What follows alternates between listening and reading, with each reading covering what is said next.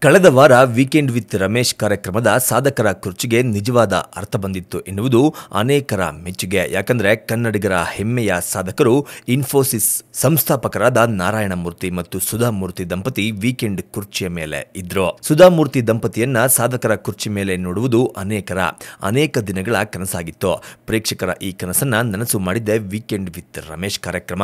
ಇಬ್ಬರ ಸಾಧನೆ, ಸರಳತೆ, ಮುತ್ತಿನಂತಹ ಮಾತುಗಳು ಅನೇಕರಿಗೆ ಸ್ಫೂರ್ತಿದಾಯಕವಾಗಿತ್ತು. ಇನ್ಫೋಸಿಸ್ ಸಂಸ್ಥೆ ಕಟ್ಟಲು ಪಟ್ಟ ಶ್ರಮ. ತ್ಯಾಗ ಕೋಟಿ ಕೋಟಿ ಗಳಿಸಿದ ನಂತರವೂ ಸರಳವಾಗಿ ಬದುಕನ್ನ ಸಾಗಿಸುತ್ತಾ, ಕಷ್ಟದಲ್ಲಿ ಇದ್ದವರಿಗೆ ಸಹಾಯ ಹಸ್ತವನ್ನ ಚಾಚುತ್ತಾ ಜೀವಿಸುತ್ತಿರುವ ರೀತಿ ಪ್ರತಿಯೊಬ್ಬರಿಗೂ ಪ್ರೇರಣೆ. ಸುಧಾಮೂರ್ತಿ ದಂಪತಿಯ ಈ ಎಪಿಸೋಡ್ ಮತ್ತು ಅವರ ಸರಳತೆಗೆ ಟ್ರೋಲ್ ಪೇಜ್ಗಳು ಮಾಡಿದ ಗುಣಗಾನ ವೈರಲ್ ಆಗ್ತಿದೆ. ಸುಧಾಮೂರ್ತಿ ಅವರ ಒಂದೊಂದು ಮಾತು ಸಹ ಸ್ಫೂರ್ತಿದಾಯಕವಾಗಿದೆ. ಪ್ರತಿಯೊಬ್ಬರಿಗೂ ಪ್ರೇರಣೆಯಾಗಿದೆ. ಕೋಟಿ ಕೋಟಿ ಒಡೆಯರಾಗುವ ಇವರಿಗೆ ಜೀವನದ ನಿಜವಾದ ಅರ್ಥ ತಿಳಿದಿದೆ. ಹಣ ಇಲ್ಲದೆ ಇದ್ದಾಗ ಮಕ್ಕಳನ್ನ ಸಾಕುವುದು ತುಂಬಾ ಸುಲಭ. ಆದರೆ ಹಣ ಇದ್ದಾಗ ಮಕ್ಕಳನ್ನ ಸಾಕೋದು ತುಂಬಾ ಕಷ್ಟ ಎಂದು ಹೇಳಿದ ಮಾತು ಸಿಕ್ಕಾಪಟ್ಟೆ ವೈರಲ್ ಆಗ್ತಿದೆ. ಮಹಿಳೆಯರು ಒಡವೆ ಪ್ರಿಯರು ಎಂದರೆ ತಪ್ಪಾಗಲ್ಲ. ಆದರೆ ಸುಧಾಮೂರ್ತಿ ಅವರು ಹಾಗಲ್ಲ. ಎಲ್ಲ ಮಹಿಳೆಯರಿಗಿಂತ ಭಿನ್ನ. ಮೂರು ಲಕ್ಷ ಕೋಟಿಯ ಒಡತಿಯಾದರೂ ಒಂದು ಗ್ರಾಂ ಬಂಗಾರ ತೊಟ್ಟಿಲ್ಲ. ಬದಲಿಗೆ ಕೂದಲಿಗೆ ಬಣ್ಣ ಹಚ್ಚಿಲ್ಲ. ಆಡಂಬರದ ಬದುಕಿಗೆ ಅವಕಾಶವೇ ಇಲ್ಲ.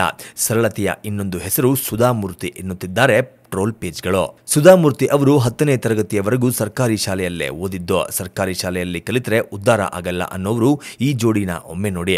ಇಂಗ್ಲಿಷ್ ಮೀಡಿಯಂ ಅಲ್ಲಿ ಕಲಿತ ನಿಮ್ಮ ಇಂಜಿನಿಯರಿಂಗ್ ಮಕ್ಕಳಿಗೆ ಇವ್ರೇ ಬಾಸ್ ಎಂದು ಒಂದು ಟ್ರೋಲ್ ಪೇಜ್ ಬರೆದುಕೊಂಡ್ರೆ, ಇನ್ನೊಂದು ಟ್ರೋಲ್ ಪೇಜ್ ಈ ತಾಯಿ ಹತ್ತಿರ ಇರುವ ಆಸ್ತಿಯ ಬೆಲೆ ಕಟ್ಟಬಹುದು. ಆದರೆ ಈ ಮಹಾತಾಯಿಯಲ್ಲಿ ಇರುವ ಗುಣಕ್ಕೆ ಬೆಲೆ ಕಟ್ಟಲಾಗದು ಎಂದು ಹೊಗಳಿದ್ದಾರೆ. ಸುಧಾಮೂರ್ತಿ ಅವರು ನಾರಾಯಣಮೂರ್ತಿ ಅವರನ್ನ ಮದುವೆಯಾದಾಗ ಪತಿಯ ಬಳಿ ಕೆಲಸ ಕೂಡ ಇರಲಿಲ್ಲ. ಆದರೆ ಅವರ ವ್ಯಕ್ತಿತ್ವ ಮತ್ತು ಸರಳತೆ ನೋಡಿ ಮದುವೆಯಾಗಿದ್ದಾರೆ. ಸುಧಾಮೂರ್ತಿ ಅವರ ಈ ನಿರ್ಧಾರ ಎಲ್ಲರ ಮೆಚ್ಚುಗೆಗೆ ಪಾತ್ರವಾಗಿದೆ. ಇಂದು ಸಾಧನೆ ಎನ್ನುವ ಉತ್ತುಂಗದ ಶಿಖರದ ತುತ್ತ ತುದಿಯಲ್ಲಿ ನಿಂತಿರುವ ಸುಧಾಮೂರ್ತಿ ಅವರು ಹಿರಿಯರಿಗೆ, ಗುರುಗಳಿಗೆ ಕೊಡುವ ಗೌರವ ನೋಡಿ ಇಡೀ ಕರ್ನಾಟಕ ಮೂಕ ಪ್ರೇಕ್ಷಕರಾಗಿ ವೀಕ್ಷಿಸುತ್ತಿದೆ. ಅವ್ವಾರ ನಮಗೆಲ್ಲ ಮಾದರಿ.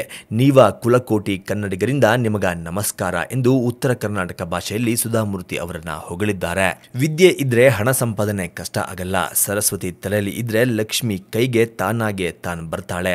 ದುಡ್ಡು ಇದೆ ಎಂಬ ಕಾರಣಕ್ಕೆ ಇಷ್ಟವಾಗಿದ್ದನ್ನೆಲ್ಲ ಕೊಳ್ಳಬೇಡಿ ಅವಶ್ಯಕತೆ ಇದ್ದಲ್ಲಿ ಮಾತ್ರ ಕೊಂಡುಕೊಳ್ಳಿ.